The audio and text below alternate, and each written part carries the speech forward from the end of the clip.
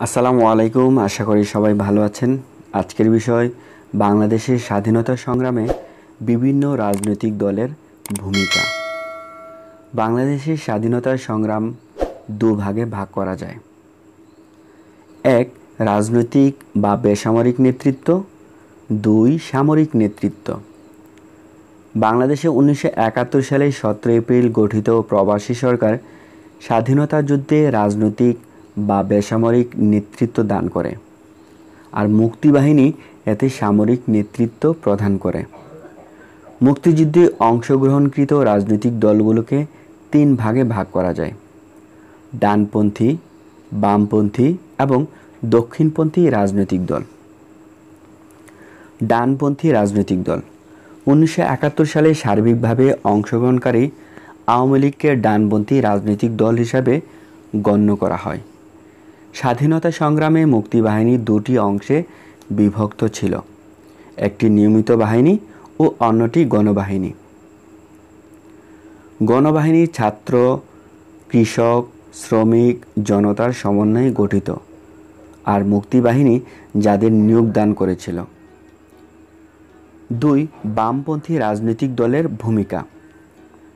উনিশশো একাত্তর সালে স্বাধীনতা সংগ্রামে বামপন্থী রাজনৈতিক দলগুলোকে দুভাগে ভাগ করা হয়। এক, মস্কো, বা সোভিয়েতপন্থী বাম দল দুই, পিকিংপন্থী বাম দল মস্কোপন্থী দলগুলোর মধ্যে ছিল Bangladesh communist party Moni Singh, national Awami League Muzaffar এবং এর অঙ্গ সংগঠন যেমন ট্রেড ইউনিয়ন, ছাত্র ইউনিয়ন এবং কৃষক সমিতি। ভারতীয় কমিউনিস্ট পার্টির সাহায্য ও সহযোগিতায় এ দলগুলো প্রায় বিশ হাজার লোককে প্রশিক্ষণ প্রদান করে সক্রিয়ভাবে মুক্তিযুদ্ধে অংশগ্রহণ করে। একাত্তর মে মাসে বাংলাদেশ কমিউনিস্ট পার্টির কেন্দ্রীয় কমিটি স্বাধীনতা সংগ্রামে লিপ্ত রাজনৈতিক দলগুলোর সমন্বয়ে ন্যাশনাল লিবারেল ফ্রন্ট গঠনের প্রস্তাব করেন। এর প্রধান উদ্দেশ্য ছিল বিভিন্ন সমাজতান্ত্রিক দেশ ও অন্যান্য প্রগতিশীল রাষ্ট্রের সমর্থন আদায় করা। তবে প্রবাসী সরকার ন্যাশনাল লিবারেল ফ্রন্ট গঠনের সমর্থন না দিলেও নয় সেপ্টেম্বর মাওলানা ভাসানী মনি সিং, মুজাফর আহমেদ এবং মনোরঞ্জন তাদের অধিকাংশই ছিল আওয়ামী লীগের কর্মী কিংবা আওয়ামী লীগের প্রতি সহানুভূতিশীল।